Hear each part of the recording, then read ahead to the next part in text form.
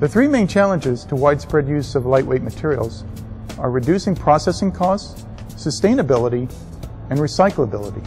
OEMs need to reduce their processing costs and recover things like designed-in costs for those new materials.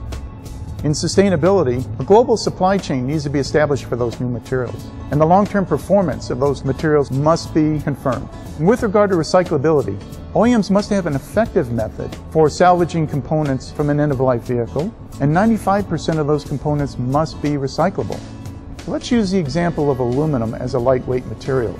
Recycled aluminum saves 95% of the energy required to produce it from its original state. And we know that in automotive, the use of aluminum will double in this decade.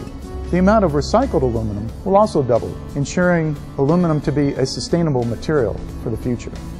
The initial processing cost of any new material is going to be higher than conventional or current materials. But ultimately, it's all about scale.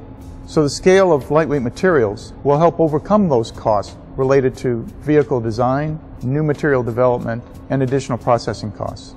The benefit of lightweighting is that it enables OEMs to meet their targets for reduced emissions and to avoid penalties for noncompliance. Cost is important, but is small in comparison to the emissions impact. Henkel's role is to be a global leader in adhesive sealants, and surface technologies. We are fully prepared to support OEMs and suppliers in their transition to new materials with lightweight enabling solutions such as multi-substrate adhesives for joining, low-density sealers, and corrosion-inhibiting surface treatments.